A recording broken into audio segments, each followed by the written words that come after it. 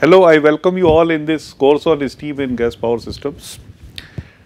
Today we will discuss about the energy losses in steam turbines. Because no machine is 100 percent efficient, even in the heat engines all the processes are ideal processes, the efficiency is not 100 percent, right. So is the case in the steam turbine.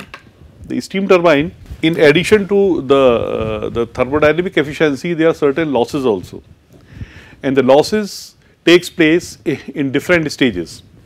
So, we will take up uh, the losses as internal losses, some of the external losses and we will carry out one worked example on the losses in steam turbines.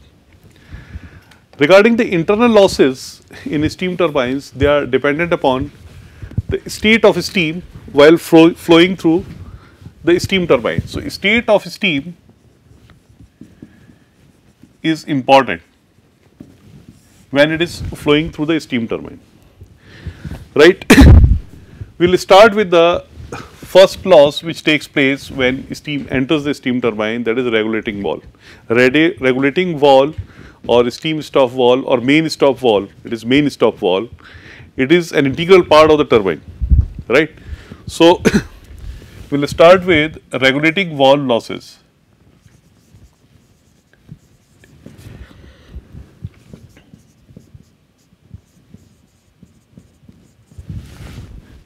As we know, any fluid which passes through any valve, in fact, is passes through a throttling process. So, on a H5 diagram or enthalpy entropy diagram, if I want to show the, uh, the throttling process, it is a constant enthalpy process. This is pressure P1 and this is pressure P2. It is a constant enthalpy process but the pressure reduces. At that changes the state of the steam also. This may happen that, that the steam which is entering the turbine is saturated, after throttling it becomes superheated steam. Now regarding the expansion, the expansion of steam is taking place, suppose from state 1 to state 2, expansion in ideal case when there is no throttling at all. But since the throttling is taking place, the available energy will be like this and this will be loss of energy during the throttling process, right. And this pressure and this is the pressure loss also because suppose here it is 10 bar. Now steam may be entering maybe 9.8 bar right. So, when the steam is entering at 9.8 bar, it will be expanded to this is a constant pressure line. So, now we are getting work out of this, earlier we are getting work out of this. So, definitely output it will be affecting the output of the turbine also. So, it is considered as a loss and uh, the magnitude this delta P R this is pressure loss in regulating valve is 3 to 5 percent of P1, P1. So, in a well designed valve it is 3 percent and in, in a poorly designed valve it can go to 5 percent, 6 percent or 7 percent. So, range remains between 3 to 5 percent. So, that is the first energy loss when steam moves into a turbine. Now, the second loss is now after entering the turbine Second is moving blade loss.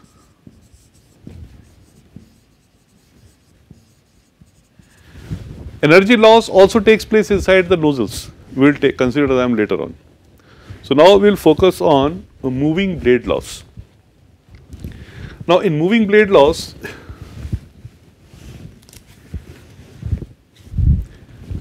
first is let us take a nozzle, uh, a nozzle and through this nozzle there are there are a number of blade passages.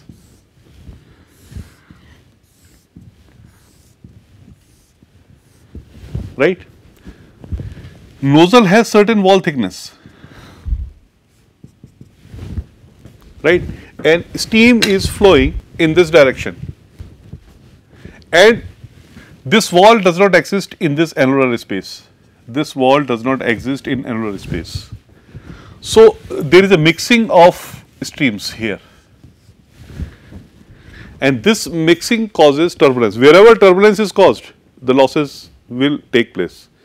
So, here because this is smooth channel, this is smooth passage, uniform mixing is there, eddies are formed, eddies are formed at the edge of the nozzle and due to this formation of eddies or mixing of two streams, some losses takes place, right. In addition to this, now the, the steam is uniformly uh, spread in this annular space. This is the space between the nozzle exit and the blade inlet. There is a clearance. So, in this clearance when the steam enters due to wake in this uh, position because there is no steam coming from here it is steam is either coming from this side or coming from this side and they are mixing here this causes certain amount of losses. The next step from this passage steam enters here. Now blade edge it obstructs the flow of steam right when obstruction is there in any flow when obstruction is there right when obstruction is there losses are bound to happen. So blade has to be designed in such a manner the design blade has to, has to be designed in such a manner that these losses are minimum these losses because we cannot make them 0. There have to be some losses, but these losses, this is by trailing edge of the nozzle or at the entry of the blades, they are minimized to 0. These losses also ref are reflected when we have solved the numerical in carryover coefficient phi. So, this, this phi has always value less than 1, it is approximately 0.75, normally it is 0.75 to 0.8 and that is due to this reason only. Now, this loss is when, when the, the steam is entering in the blades, it is known as impinging loss. So, this is trailing edge loss, trailing edge, edge loss and second one is, sorry, this is impinging loss, impinging loss of energy. Now, in steam turbines, the blades are mounted on a shaft, right, and nozzles are used in an impulse turbine, the nozzles are used for supplying steam to the turbine blades, right. So, this is a nozzle.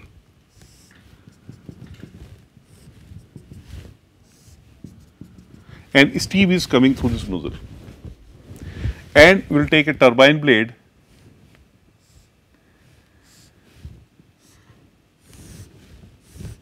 which is fixed on on a rotor this is also this is fixed on a rotor right and steam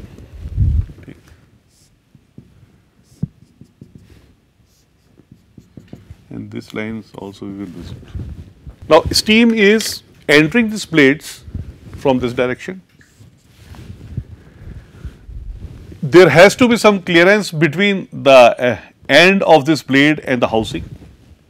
I mean this clearance has to be there. Normally this clearance is of the order of uh, 300 microns or 0. Point, how much 3 millimeters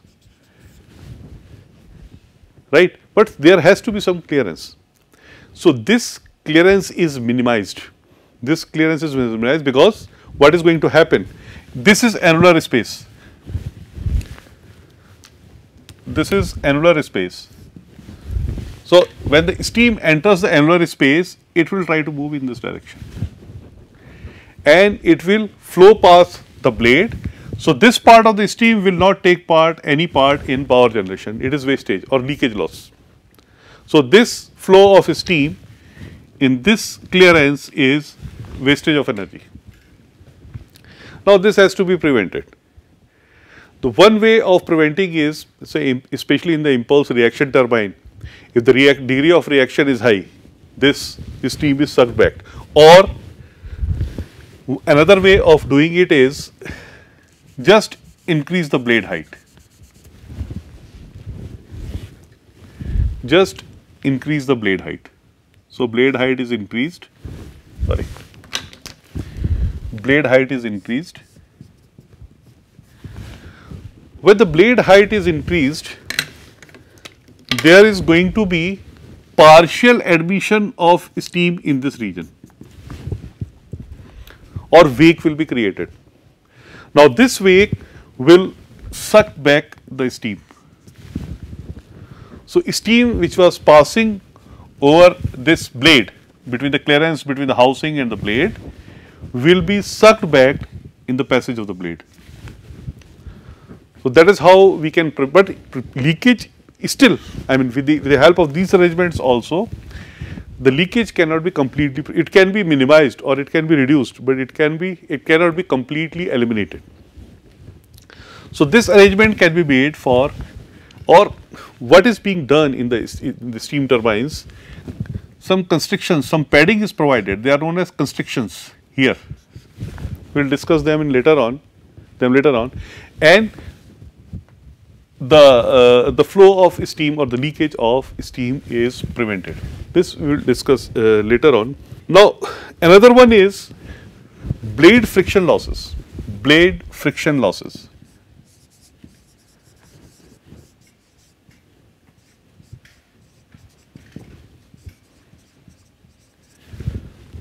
When steam is flowing past the blades, I mean, if the profile type blades in case of impulse turbine or aerofoil type of blades in case of uh, uh, impulse reaction turbine, the surface of the blade it offers the resistance to the flow or friction between the steam and the blade surface. This also results in loss of energy delta H or loss of energy right. So, this is known as blade friction losses. Chauthar, losses due to turning of jet. When jet or, or, or, or, the steam jet, when it flows past the blades, so there is an impulse turbine and steam jet is moving over the blades So, it is changing direction right. Now, it is not a I mean thin line the entire steam is flowing in this passage. Some part of the steam is in the vicinity of the some part of the steam is in the vicinity of blade surface. This is blade suppose so, part of the steam is in the vicinity of the blade surface, part of the steam will flow like this, part of the steam will flow like this. Because when we do the analysis we take very ideal case, but in actual practice the path covered from this point to this point will be different for different volumes of the steam. That is one thing. Second thing is when there is a change in direction losses are bound to happen in actual practice. And in, in this case, the change in direction is pi minus blade inlet angle minus plus blade inlet outlet angle. So, higher the value of this inlet and outlet angles, sorry, lower the value of this, higher the change in the direction, right, and more will be the losses in blade passage. Shrouding is also done in the uh,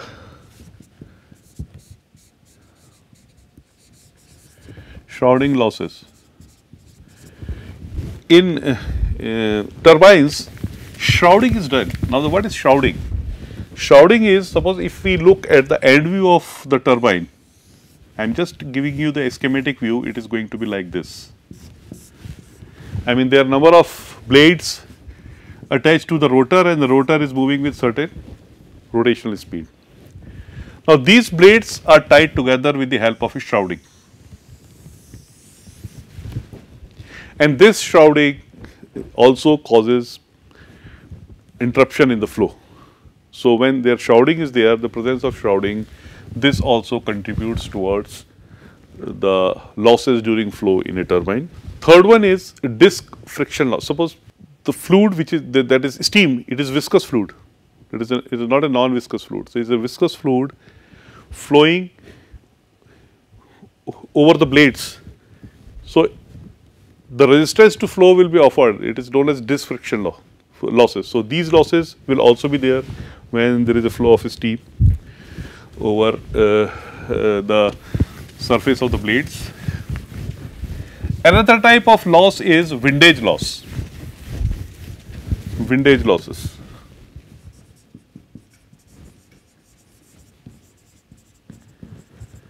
Now, what happens in high pressure turbine, especially in the high pressure area, especially in the impulse turbine, th there are limited number of nozzles, right? And there are limited number of nozzles and all the blade passages are not ex directly exposed to the steam which is coming from the nozzle. In some of the blades there is a partial admission. This partial admission in the blades is known as windage losses, right? And we will start with the disk friction loss. So, disk friction loss, there is a formula for disk friction losses in a steam turbine. Uh,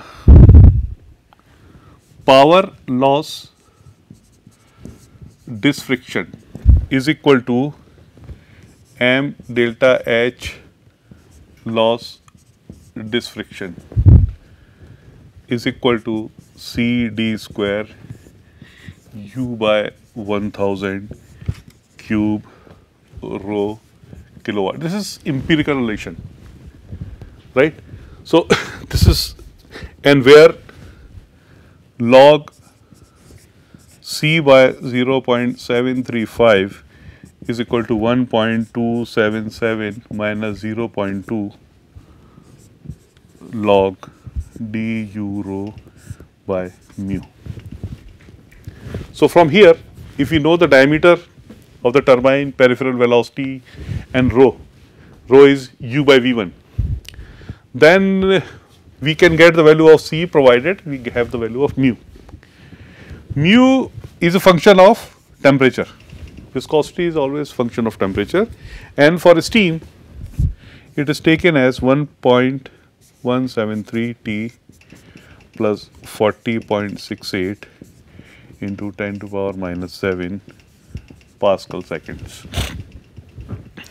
Now, here you can see that uh, with temperature viscosity is increasing because with temperature if you increase the temperature the viscosity of the liquid will fall, but viscosity of the gases will increase.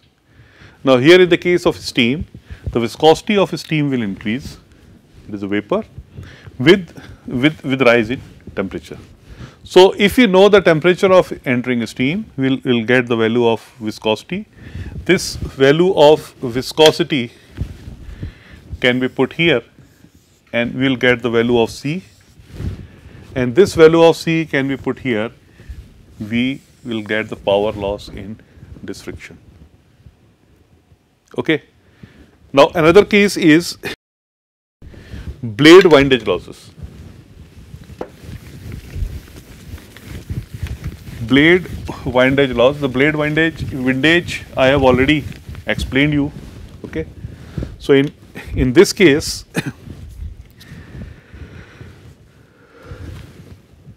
then again P windage losses is equal to lambda 1.07 d square plus 0.61 z 1 minus epsilon L raised to power 1.5 d u by 100 cube it's difficult to remember but but this is a also a, a, a uh, empirical relation where lambda for air, uh, I mean this is a generalized equation. So, for air it is uh, 1 for superheated steam, superheated it is 1.1 to 1.2 and uh, uh, saturated steam equal to 1.3. So, for, for three different conditions lambda 1 1.1 to 1.2 is superheated. Our natural steam turbines come in this range. So, lambda 1 lambda can for steam turbines because the vapor is always, always superheated while entering the steam turbine, we can always comfortably take 1.15 average of this.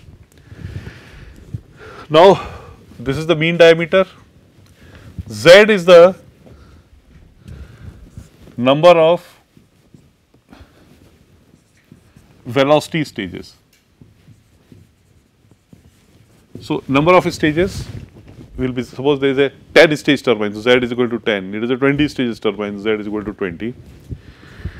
Epsilon, epsilon is uh, clearance, it is for the clearance, L is blade height, L is in centimeters. This has to be remembered, otherwise you will be getting altogether different results. D is the diameter of rotor u is the peripheral velocity, u is rho is the velocity ratio. And this will give you the energy loss in windage.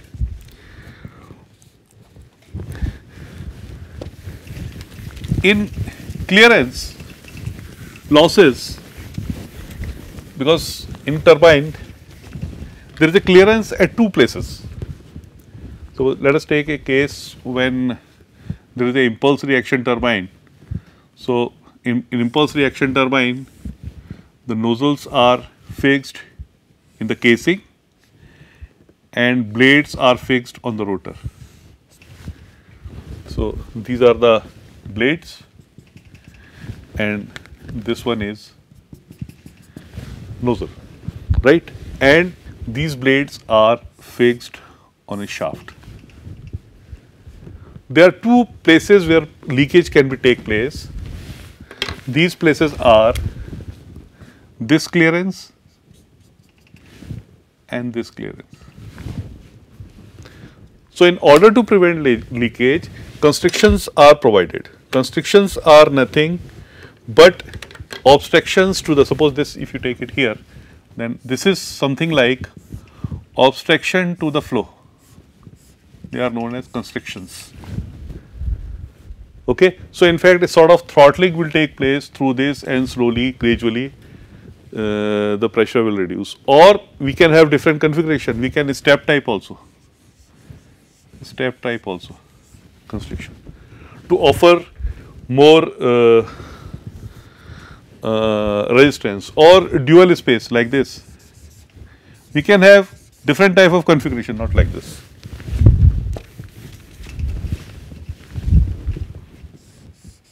like this.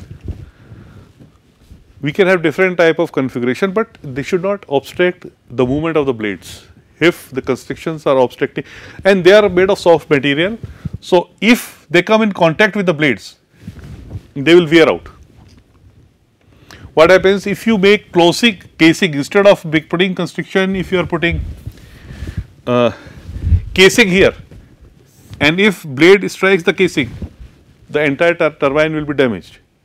But constrictions are made of soft material. So, even if the blade edge comes in contact with the constriction, it will wear off the constriction that is it. Now, if we draw enthalpy entropy diagram,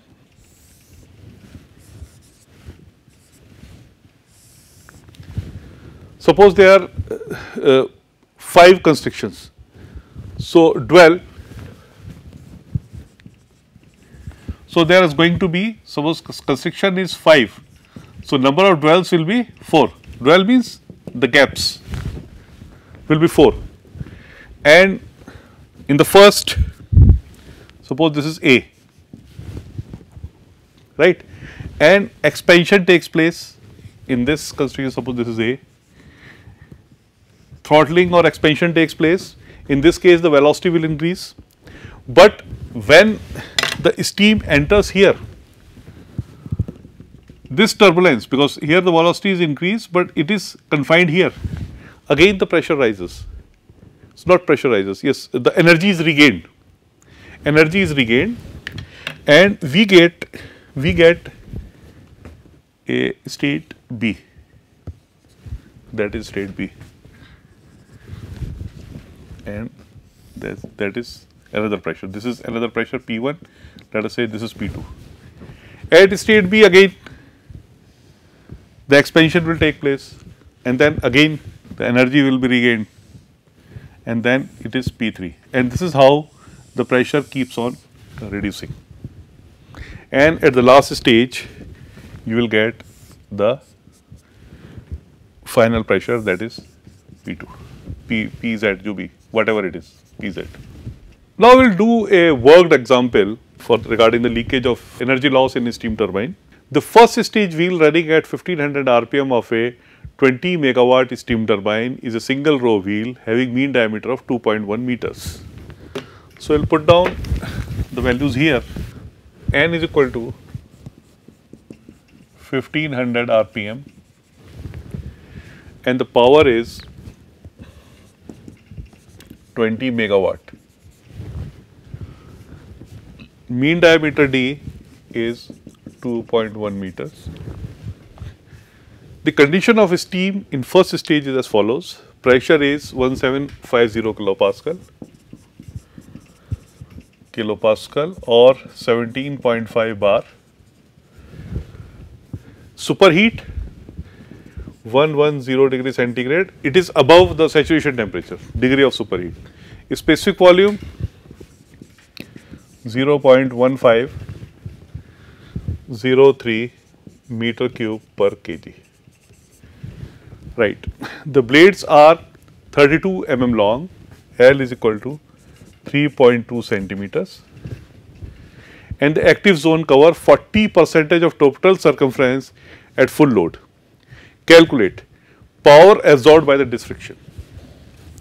So, first of all we will take pressure corresponding to this the saturation temperature is 205.71715 degree centigrade. Now, total temperature is going to be 205.715 plus 110 it is going to be 315.715 degree centigrade or you can round it off to 205.7 because third digit accuracy is not required right. So, this is the temperature. Now, with the help of this we can calculate mu. So, mu is 0.173 T plus 40.68 into 10 to power minus 7. So, at this temperature viscosity of the steam is going to be, we will put the value of T from here, sorry T from here and then we will get mu is equal to 95.3 into 10 to power minus 7 Pascal second. Now, that formula if you remember this log because we need to have the value of C log C by 0.735 is equal to 1.277 minus log ud rho by mu. So, here we have the value of u is equal to pi into d is 2.1 into n is 1500 divided by 60 pi dn. So, pi d is 2.1 is given here right and 1500 is also given here. So, this is D, this is N and the value of U is 165 meters per second. So, value of U will note down here 165 meters per second. Mu is also there 95.3 into 10 to power minus 7 Pascal second. Now, we can calculate the disk friction. The disk friction is now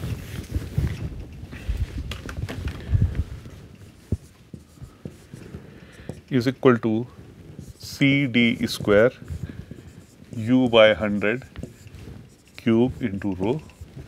And now we have the value of U, we have the value of rho, C is with us, diameter is with us, right? Putting these values here, we will get the disk friction that is 23.4 kilowatt. If you compare the output of the turbine, it is not very high, though in itself 23.4 kilowatt is substantial energy.